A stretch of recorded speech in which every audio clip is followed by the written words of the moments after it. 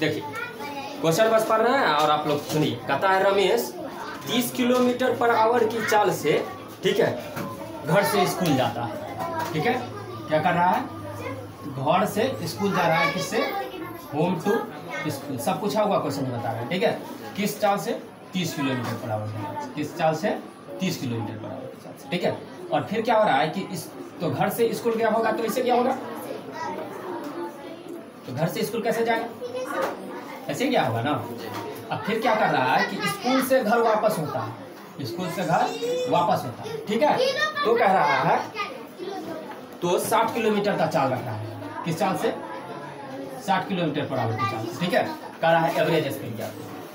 औसत चाल बराबर क्या औसत चाल पूछ रहा बन जाएगा? बोलिए। बनेगा? कि ए से पढ़ाए थे ना कि ए से बी तक एक्स चाल से जाए और बी से ए तक मतलब डिस्टेंस बराबर होना चाहिए ए से बी गया और बी से ए गया तो वाई किलोमीटर पर आवर की चाल से तो औसत चाल निकालते हैं तो क्या होता है? टू एक्स वाई बट्टा एक्स प्लस वाई क्या होता है। तो औसत चाल क्या हो जाएगा? औसत चाल हो जाएगा टू एक्स वाई बट्टा एक्स प्लस वाई मतलब कुछ करना नहीं है चाल दिया हुआ है ना? तो किसी को एक्स मान लीजिए किसी, किसी को वाई दो गुना तीस गुना साठ और बट्टा में साठ प्लस चालीस कोई दिक्कत? हो जाएगा? सॉल्व करना आपका काम। कर लीजिएगा। कोई दिक्कत? तो यहाँ से छत्तीस का अठारह गुना छत्तीस पे डबल ज़ीरो और यहाँ हो जाएगा एक यही होगा? तो डबल ज़ीरो से डबल ज़ीरो खत्म मतलब छत्तीस। एवरेज स्पीड क्या है? छत्तीस किलोमीटर। कोई दिक्कत? समझ में अगर यहाँ पे कुछ दे दें कि पाँच घंटा लगा इसी क्वेश्चन में आप जोड़ रहे हैं। ठीक है? कहे कि अब ये जो आया आ गया। आया गया तो टोटल कितना लगा? पाँच घंटा। कितना लगा?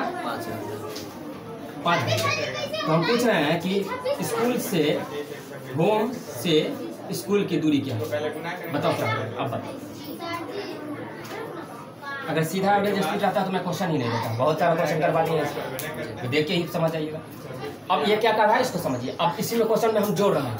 कह है कि होम से स्कूल गया स्कूल से होम आया मतलब घर से स्कूल और स्कूल से घर। तो इस वक्त उसको टोटल पाँच घंटा लग गया। कितना घंटा लग गया? पाँच घंटा। हम पूछ रहे हैं कि होम से स्कूल के बीच की दूरी क्या हो जाएगी तो आप जानते हैं कि स्पीड ये निकाले हैं एवरेज स्पीड निकाले हैं वो क्या है? मिलल वाला है स्पीड है कि नहीं?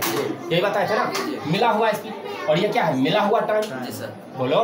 ये टोटल स्पीड ये एवरेज स्पीड और ये क्या होता है? टोटल टाइम तो टोटल डिस्टेंस अगर होता है कि होम टू स्कूल बगल में लिख देता है डिस्टेंस क्वेश्चन सबके पास चला गया है? डिस्टेंस ठीक। तो अब बताइए कितना हो जाएगा? तो हम ऐसे कर सकते हैं कि ये चाल बोलो। क्या हो जाएगा? चाल। तो चाल कितना है? छत्तीस। का गुना समय। मतलब एक सौ अस्सी किलोमीटर। ठीक है? होगा टुन टुन कोई दिक्कत? नहीं। ना? और ये गलत होगा ठीक है? ऑप्शन में ये भी रहेगा नब्बे भी एक सौ अस्सी भी पैंतालीस भी और रहेगा इनमें से कोई नहीं। रहेगा ऑप्शन आपको हम क्वेश्चन दिखाएँगे ठीक है? तो ये गलत हो जाएगा क्योंकि ये बताओ ये एक सौ अस्सी क्या? है ऐसे ही पढ़ते हो ना? इस दिन पढ़- उस दिन पढ़ाए थे याद रखो। एवरेज स्पीड बराबर टोटल डिस्टेंस बता टोटल टाइम ये टोटल डिस्टेंस क्या है? मतलब यहाँ से यहाँ गया फिर यहाँ से यहाँ आया वो दूरी होती है। हाँ कि ना? यहाँ से एक्स से एस एस से एक्स गए तो वो जो दूरी है वो मतलब ये दस इधर है तो दस और दस बीस किलोमीटर चला होगा तब आया। हाँ कि ना? मिला हुआ स्पीड औसत चाल और टोटल टाइम टोटल चाल टोटल टाइम को गुना करोगे टोटल डिस्टेंस आए। टोटल डिस्टेंस का मतलब क्या? मिला हुआ डिस्टेंस है मिला हुआ डिस्टेंस का मतलब क्या? कि यहाँ से यहाँ फिर यहाँ से। यहाँ ठीक है? ये हुआ। तो बताओ कि हमने आपसे क्या किया कि होम से घर से स्कूल जाना है? घर से स्कूल तो टोटल एक सौ ये एक सौ अस्सी किलोमीटर आया तो दो बार में एक सौ अस्सी किलोमीटर आया। नहीं मतलब यहाँ से यहाँ गया यहाँ से यहाँ यहाँ आया दो बार गया तो एक सौ अस्सी किलोमीटर। तो होम से स्कूल के बीच की दूरी क्या हो जाएगा? नब्बे किलोमीटर हो जाएगा ना? तो होम से क्या हो जाएगा? तो डिस्टेंस बराबर क्या हो जाएगा? एक सौ अस्सी अवटा में दो। मतलब नब्बे किलोमीटर। कितना? नब्बे किलोमीटर। समझ में आया? तो सर एक सौ अस्सी किलोमीटर कब जवाब होता? ठीक है? जब हम पूछते हैं कि कुल दूरी कितना तय की ठीक है? तो कुल दूरी हम कहेंगे यहाँ ट्यूशन से ट्यूशन पढ़ के पढ़ने के लिए जाते हो और जाके आते हो तो कितना दूरी चलते हो? तो यही कहोगे दस किलोमीटर। पाँच किलोमीटर जाने में और पाँच किलोमीटर आने आने में। दस किलोमीटर चले ना। बस समझ मारा तो ये कंफ्यूज वाला है। इसको समझ में आया अच्छा से? कोई दिक्कत? नहीं। ना? पक्का? हटा दे। मज़ा आया? थोड़ा सोच के संभल के ठीक है? क्वेश्चन के अकॉर्डिंग काम करते हैं। इन्हें जो कुछ जो रटले हैं एक एक चीज़ें छाप देंगे चलिए दूसरा क्वेश्चन तीन समान दूरी 10 किलोमीटर 15 किलोमीटर तथा 12 किलोमीटर की औसत चाल से चला जा रहा है ठीक है? देखो तीन समान दूरी है किससे? समान दूरी का क्या मतलब? समान दूरी का मतलब अगर एगो डी है तो बाकी भी टी होगा और ये हम आपको बेसिक से ही पढ़ाए हैं इसलिए बेसिक से ही बना डिस्टेंस दूरी मान लेते हैं डी दूरी क्या मान लिए? डी तो d one d two d three सब बराबर होगा? जी है ना? होगा?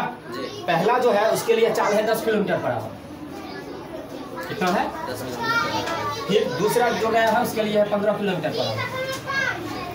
कितना है?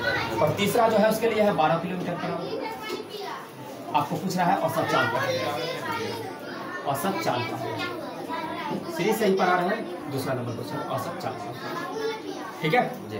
बताइए। दूरी d one d two d d three लिखा है सही बात है? नहीं है क्योंकि तीन समान दूरी कह रहे हैं। समान दूरी सब बराबर हुआ मतलब कहने का मतलब यही ना कि ऐसे लिख रहे हैं डी वन बराबर डी टू बराबर डी थ्री है। जी सर। बोलो। जी। समझ में आ रहा? है जी। तुम समझ में आ रहा? है क्योंकि तीन समान दूरी कह रहा है तो वन टू हटाइयो दिए तो ये कोई दिक्कत। नहीं सब बराबर है? तो बताइए कि औसत चाल कैसे निकालते हैं?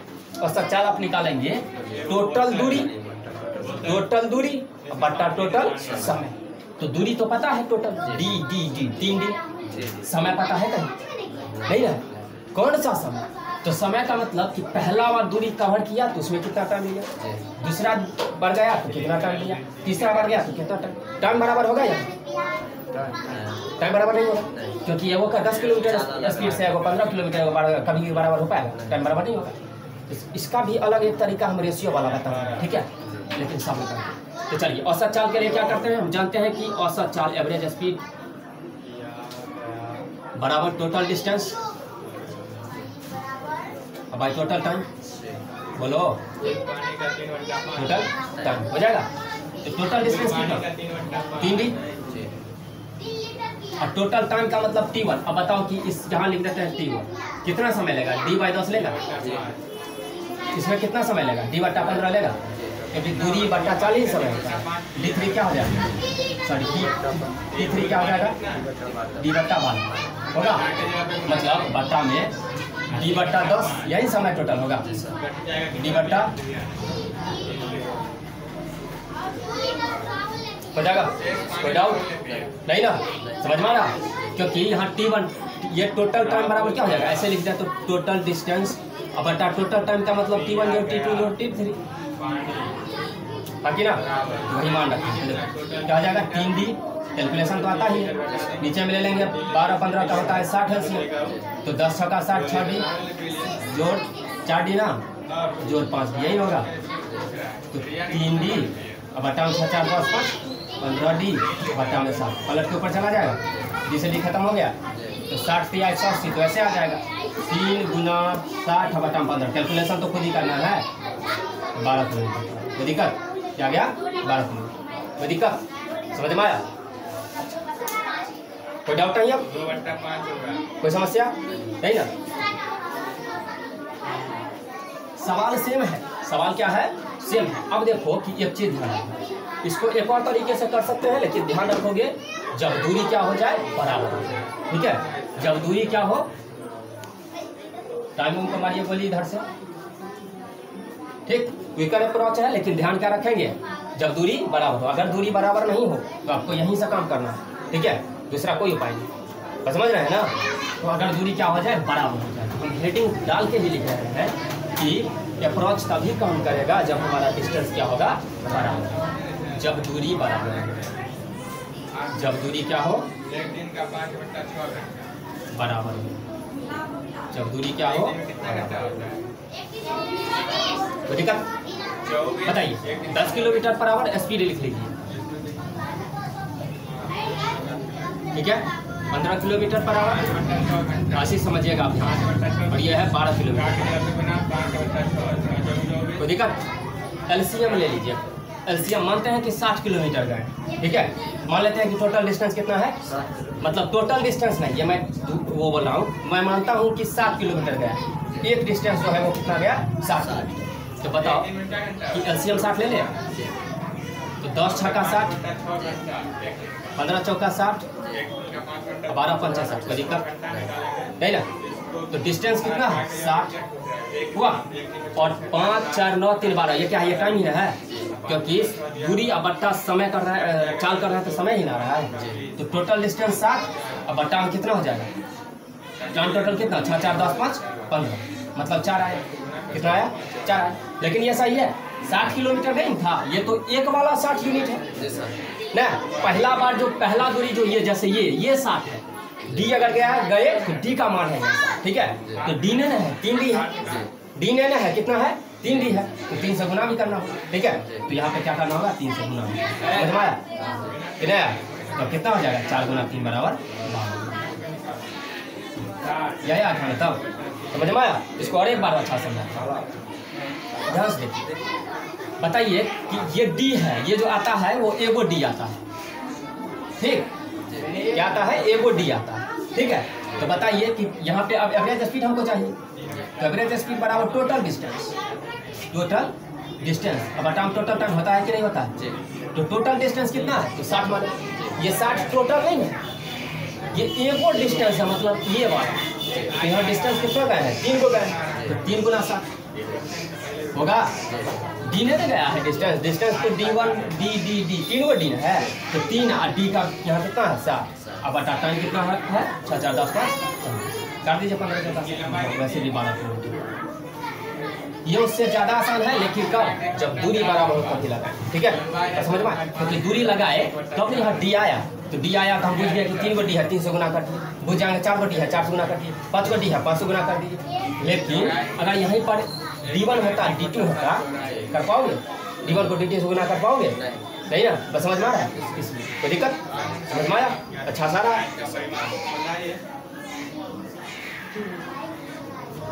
एवरेज स्पीड को तो समझ लीजिए कि हम बहुत ज़्यादा से क्वेश्चन देख लिया है। ठीक है? हाँ बहुत ज़्यादा वो मैंसुन्स वाला नहीं बनेगा, लेकिन आप जिसकी तैयारी कर रहे हैं, उससे अव्वल दर्जे का बना ठीक है? पहले ही सब कुछ खत्म कर दे रहे हैं, उसके बाद सवाल ही नहीं है।